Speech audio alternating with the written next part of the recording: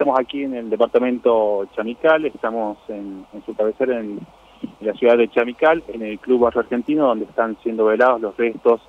de Daniel Elías, eh, ex intendente de Chamical, ex concejal, diputado y diputado en funciones hasta este trágico accidente, que la verdad ha enlutado por completo a esta ciudad, una ciudad que está muy triste y donde mucha gente se está acercando a, darle el último adiós.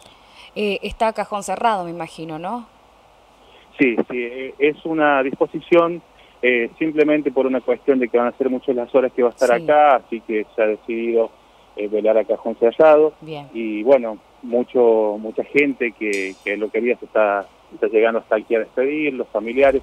Hay algunas autoridades, está el intendente Silvio Villar del Departamento de Asamblea de los Sauces, el intendente Godoy, también del Departamento de Samatina, el diputado Ismael Bordagaray de Samatina, concejales de aquí del departamento,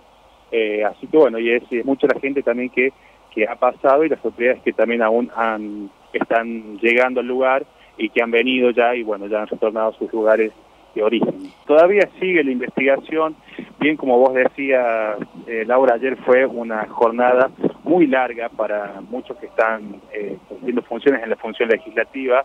valga la redundancia, porque fue el tratamiento del boleto estudiantil gratuito que se aprobó la ley, eh, que fue una ley que llevó mucho trabajo, muchas horas de, preparación, que finalmente salió, fue un momento de júbilo para, para todos porque eh, fue un derecho este, muy importante que adquirieron los jóvenes estudiantes. Y bueno, luego de eso eh, comenzó el retorno a la casa de los diferentes diputados.